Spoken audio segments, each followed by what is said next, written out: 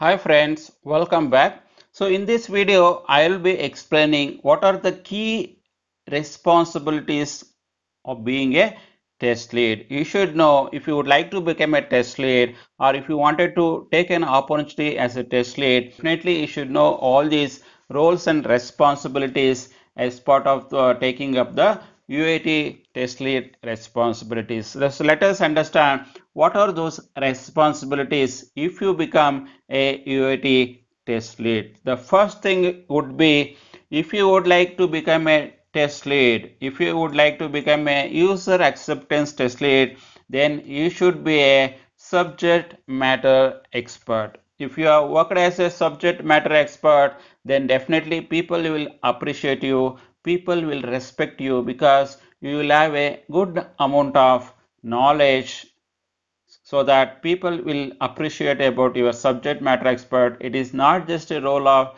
just leading the team of members or not just uh, leading 5 members 10 members.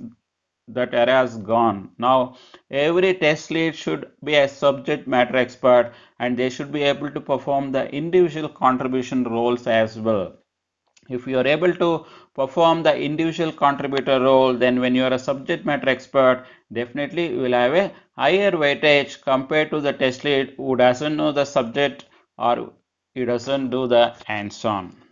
The second thing would be the test lead should be able to validate the business requirements. How we can validate?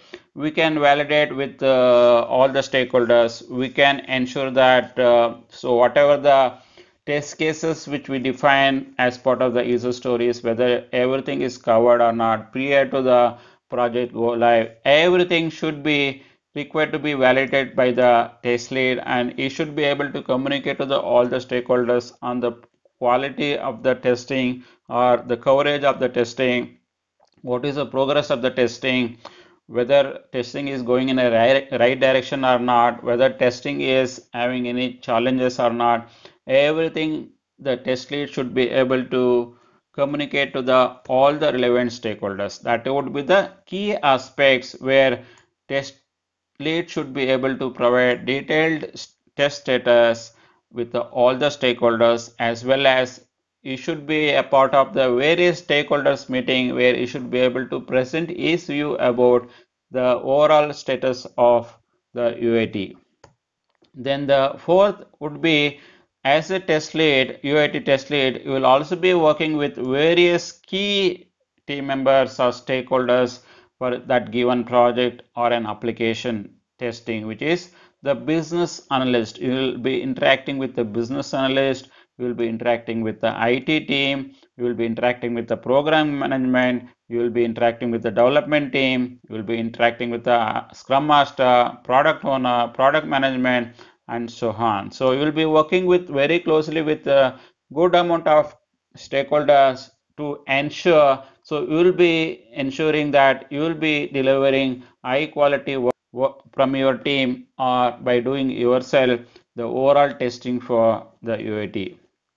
Then the next one is as a test lead once the business requirements you are able to analyze and you are able to get as much as information then you should be able to derive the test plan where you will be clearly jotting out complete aspects of the UAT and you will be listing what are the various testing activity you will be performing or your team will be performing what are the various types of testing is required what is the percentage of testing will be done in white box what is the percentage of testing will be done at API testing or black box testing or performance testing, automation testing, and so on. So every nitty gritty you will be documenting as part of the test plan.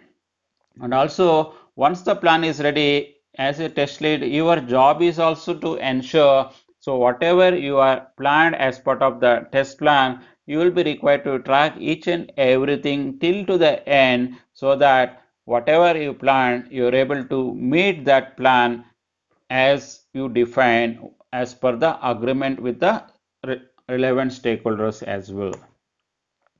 Then as a test lead, your job is also as we discussed earlier, which is test planning and also where you will be defining your entry criteria, exit criteria, your test case specification or test case uh, more uh, scenarios or test cases data and so on. So you will be also doing test executions, defect management and you will be having a test status with every stakeholders and also you will be delivering a test matrix to all the relevant stakeholders to tell you the health of the UAT testing which your team is doing or yourself which you are doing.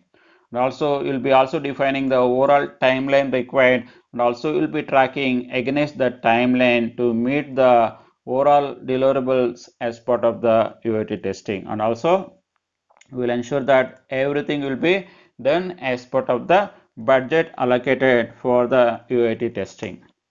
Then the next responsibilities of a UAT test lead is your responsibilities also involve in identifying. Your job required to be identifying and managing the risk. You will also be required to find out the issues and you should also come up with various mitigation plans and action items to close these risk and issues. Because this is very crucial. If you are not able to assess well in advance the risk or you are not able to find the solutions for the issues by working with all the stakeholders then your project will be at disaster so that is where the key element of a test lead will come into picture where his roles and responsibilities should be able to visualize everything in well in advance and put the proper mitigation plans and ensure that it tracks everything to the closure. Then the next aspects of uh, UAT test lead's responsibility is he, also has a responsibility of resource management, especially if you are a team lead where you will be managing managing your resources.